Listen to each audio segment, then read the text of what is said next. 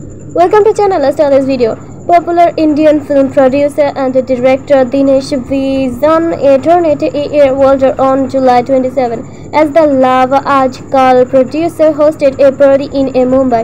He invited a few Bollywood celebrities to be a part of the, the merriment and among that the many celebs who arrived in style as that the best were a Varun Dhawan, Siddharth Malhotra Vijay Verma Ibrahim Ali Khan, uh, Pankaj Tripathi, the and others.